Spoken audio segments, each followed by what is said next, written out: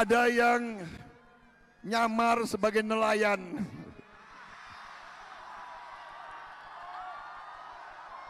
Saudara-saudara sekalian, ustadz-ustadz saya, kiai-kiai saya mengajarkan kepada saya, Prabowo, kau sebagai muslim, sebelum kau menghabiskan nafasmu terakhir, kau harus ucapkan dua kalimat syahadat.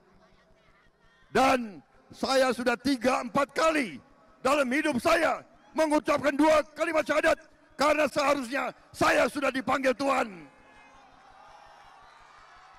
Tapi tapi ternyata Tuhan masih memberi Allah Subhanahu wa taala masih memberi saya nafas, masih memberi saya kekuatan, masih memberi saya kesehatan.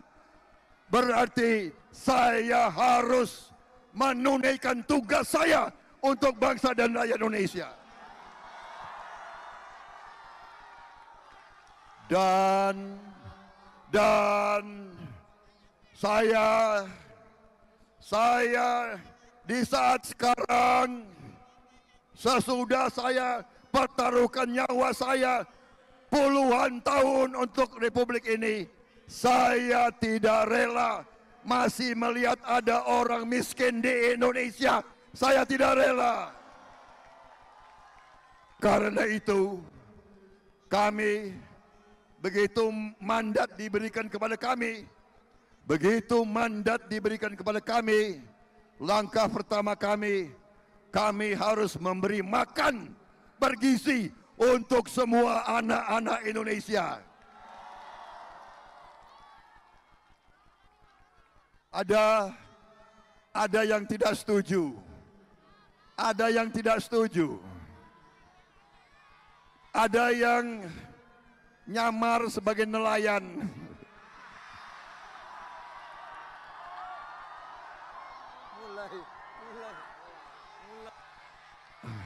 Berani-beraninya loh itu. Nyamar sebagai nelayan, nyamar sebagai petani, dan mengatakan kami tidak perlu makan siang gratis.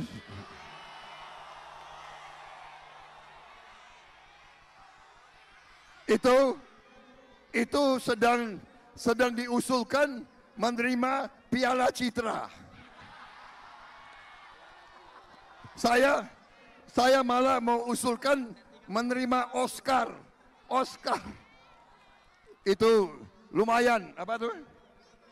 Dia nggak usah, dia jangan jadi caleg. Dia harusnya jadi apa? Jadi apa itu? Bintang bintang sinetron bintang sinetron. Saudara-saudara sekalian. Download Tribun X sekarang. Menghadirkan lokal menjadi Indonesia.